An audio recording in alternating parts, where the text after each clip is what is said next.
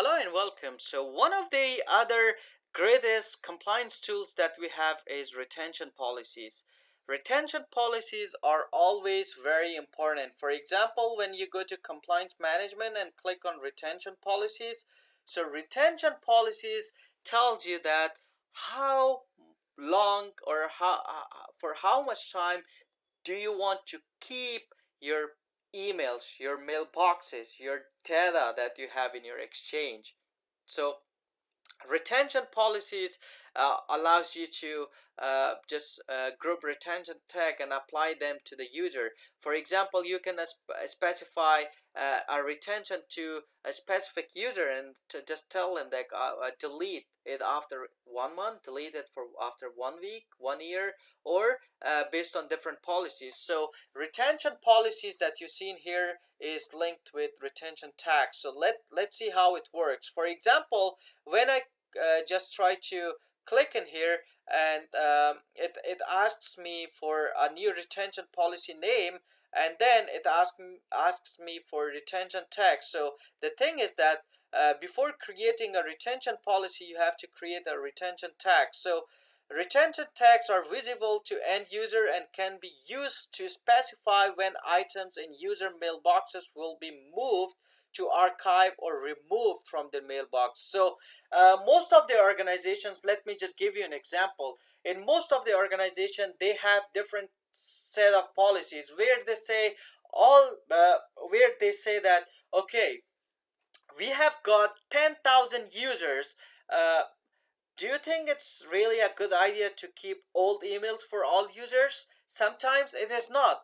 You really don't want to keep old emails uh, you want to uh, delete it from users uh, uh outlook or users mailbox because you want to save space uh, these days storage is very expensive. So what you can do is you do not want to keep old uh, email messages. So that's why you set retention tags telling uh, telling the exchange hey exchange uh, delete all uh, old emails emails that are like 60s days 60s days old delete it from users uh, uh, inbox. And you can also say that uh, archive them. You can also say that move them to a different folder. So that's why you use retention.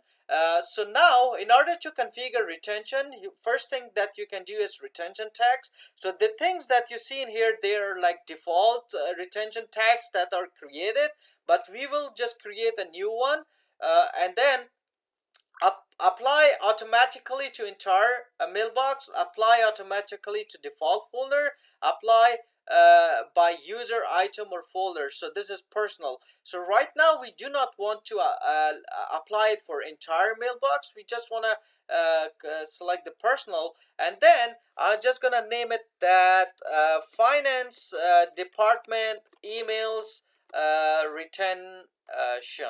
And then uh, delete and allow recovery. Permanently delete delete move to archive. So now these three options if you ask me which one should we select i'll say all depends based on your company's policy. Your company says I want to delete the mailboxes, uh, your uh, the emails, but I want to allow recovery. Maybe in future, uh, we, we will need one of the emails, so we wanna we wanna just uh, do a recovery. But still, it's gonna occupy some space in your uh, exchange uh, server. And if you say permanently delete, it will permanently delete it. If it if you say move to archive, it will just move to archive so that you can just recover it or uh, just move uh, copy uh, whatever emails you need. So I'll just say delete and allow recovery. Retention period uh, retention period is like uh, as you can see that specify the period in days after which the selected retention action should be applied.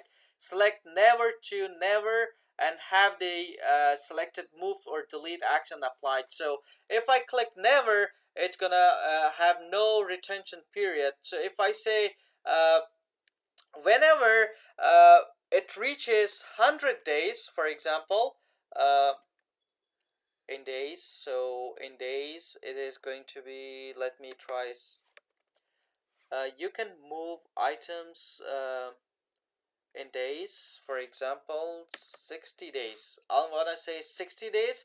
So whenever uh, it reaches the retention time of 60 days delete it and allow recovery. So what it's gonna do is it's gonna delete and then allow recovery. And it is going to be applied to uh, uh, users uh, items and folders. So save. Once you click on save in here now you can see that it will uh, just do what? It will uh, delete after 60 days and then uh, it will be temporary recoverable. So after for example after 60 days it will be deleted for another uh, for example 30 or 60 days uh, based on uh, what Microsoft uh, have got there on uh, retention date that, that, that days that you have which is I think 30 days um, and then after that it will be deleted. So once you have configured this what you can do now is you can add a policy in here and then say uh, finance uh, retention uh, policy and then add your tag in here. So I'll simply add my tag in here and then press OK. Save.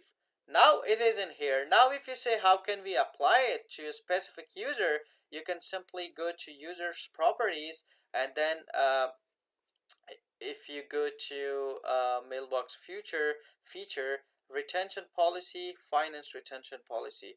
So now what we did is that we applied that uh, personal uh, contents and folder policy for the retention which is going to delete after delete those uh, emails after 60 days uh, is good is applied to Jeff Green's email who is like uh, uh, finance department user. So that's how you can configure retention uh, and retention is very important. Always make sure that you follow your company's rules standards and policies for the retention like for how much period of time you want to keep your emails and when do you want it to be deleted and after deletion do you want to archive it or do you want you don't want to archive it. So most of the time for most important uh, users that we have in our organization we always want them to be archived because we always will need their emails. So uh, make sure that you are not applying uh, one month retention to important uh, mailboxes where they have important emails important confidential and important data because once it is deleted uh, um, uh, of once once it reaches the temporary period and it is deleted uh, you will not be able to recover it. So i hope that you have learned something from retention policy and i'll see you next video